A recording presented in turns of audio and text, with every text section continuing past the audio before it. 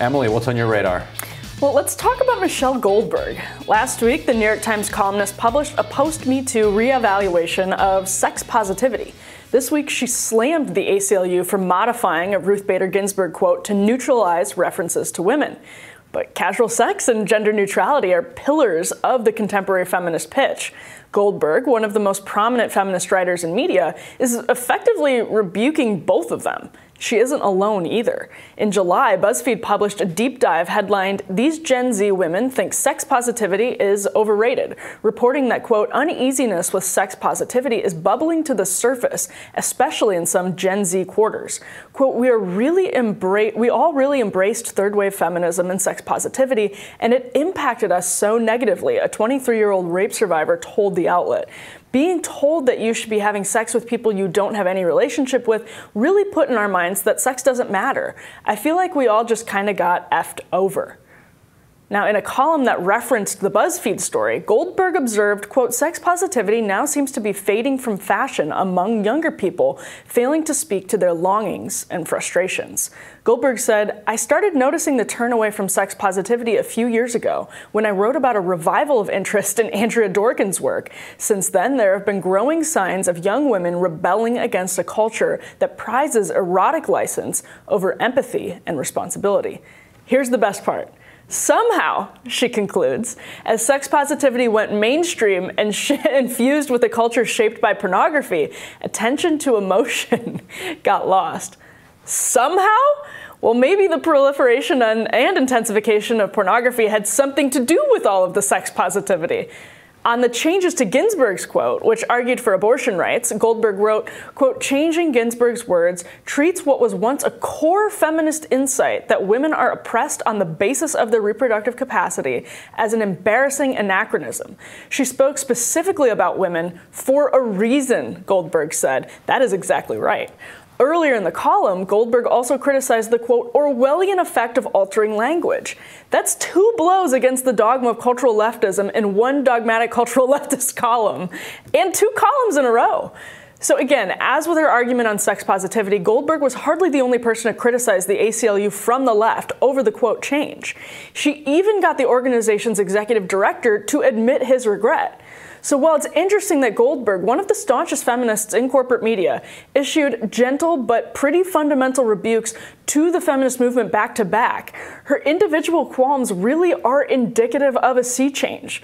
Goldberg avoids blaming her fellow ideological travelers and maybe herself for creating an ACLU responsive to radicalized young staffers whose worldview erases distinctions earlier feminists fought for or for leaving a generation of young women emotionally scarred from the casual sex they were told would feel empowering. No, she blames porn without pausing to blame sex positivity for its proliferation and intensification and the proliferation of norms that clearly are hurting Gen Z women, as has been reported. But porn, as Goldberg suggested in her reference to Dworkin, is itself becoming another issue in the feminist realignment. Me Too's generational tensions were absolutely illuminating. The fresh lens that Ryan Murphy is right now applying to Monica Lewinsky, largely after others have done the same post 2016, puts 2021's feminism at odds with 1990s feminism, and rightfully so. In some ways, the Me Too expl- explosion revealed that men and women are still adjusting to the important feminist victories of the second half of the 20th century, victories that put them in close quarters in white collar jobs, scrambling family arrangements, and childcare. Women should not have to sacrifice those freedoms. They were hard earned, and by some and by some women with whom I disagree on a whole lot of issues. But if we pause for a moment and squint, we're in the early stages of what really does seem to be a feminist realignment. Of course, this isn't to say progressive women are all crypto conservatives. They are not, they will not be. Most of the country is not. But the left's cultural dominance, fueled by technology and mass media, changed the world very quickly. It's like a half century in the scope of human history. It's too bad that at least one generation of young women have been caught up in that adjustment, subjected to a hookup culture fueled by porn that left them that left too many of them hurt, alone past their wishes, childless past their wishes, and much less empowered than they were told.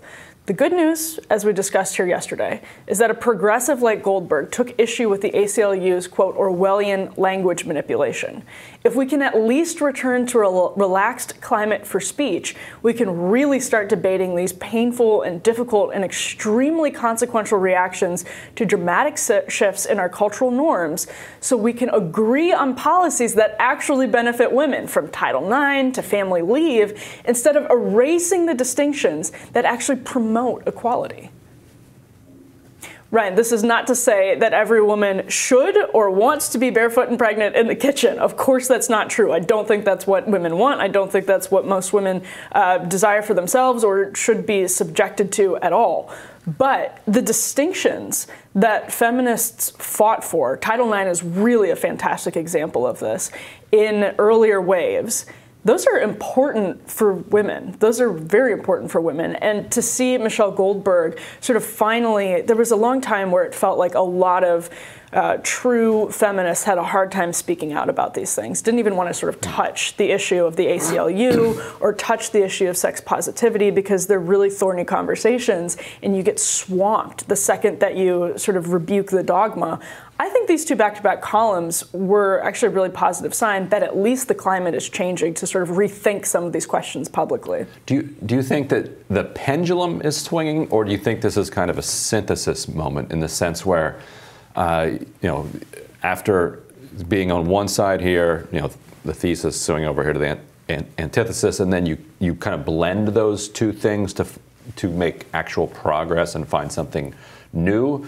Or do you think this is just backlash and pendulum swinging back and forth? Yeah, I think the first way you described it is better. To some extent, it's not mutually exclusive. Like to, to, to some extent, it's what is old is being blended with what is new. So it's it is moving back to an extent. But I also don't see it as like reversing any progress because I think when one ideology wins in the, the sort of culture and becomes dominant, the excesses, and you can point back to eras in cons- when conservatism was culturally dominant, where the same thing happened the excesses are really quickly normalized and mainstreamed um, of that ideology. And with feminism, the sort of academic, fringy excess, excesses of it are this like weird gender neutrality that doesn't actually help women um, because it erases sex distinctions. And Title IX, again, is a really good example of this. And so to that extent, I see this really as more of just a like a moderating of the, the equality movement as it relates to women. And M- Michelle Goldberg's in, in an interesting place to do it because she's she's Gen X, so she's in between kind of the Gen Zs and the Boomers. That's a good point. Who, who are it's it's such you know odd odds with each other at this point. But on the other hand, Gen Z and Gen X, uh, you know, we're, there's a huge gulf between us and them. Uh, how do you how do you think that this is going to be received by Gen Z?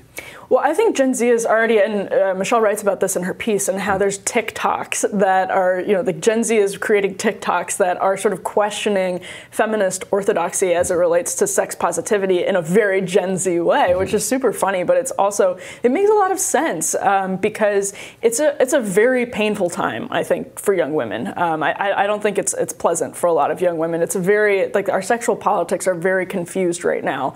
But if we can at least go back and and start talking talking about some of the basics of what um, is is desired by women, what is healthy for women, um, as opposed to what's healthy for men. Uh, because a lot of I think the excesses of feminism were great for men. Hookup culture, great for men, um, not as well loved by women as it turns out when you sort of do that experiment. And so I think Gen Z is, is going to sort of be happy to, to start is, hearing is that. Is part of this Gen Z being more interested in gender than sexuality? Yeah, I think it is. Um, I, th- I think that's absolutely true. And that's, I mean, Again, though, a lot of these conversations are like Gen Z, a lot of people might dismiss as just sort of, you know, they're, it's all euphoria, whatever happens on the HBO show, and it's, you know, that kind of thing, just in the same way it happened with millennials and girls, but, which I love, by the way. Uh, but um, with Gen Z, they also are sort of swimming in the podcast universe. And a lot of them talked in the BuzzFeed piece about Tumblr. And so they're exposed to all of these like Tumblr is still Tumblr, around. Well, I think back when they were like even younger. Oh, okay. um, and so they're swimming in all of these different ideas, uh, some of which are radical, some of which are reactionary. And it, I think they're sort of they're going to be a very heterodox generation. That's kind of hard to define, other than the fact fact that they're kind of heterodox, if mm-hmm. that makes sense. Yeah, interesting. Yeah. Defined Well- by their lack of definition. yeah, exactly. Ryan, I'm looking forward to your radar next. I'm sure it's going to be on feminism as well. No doubt.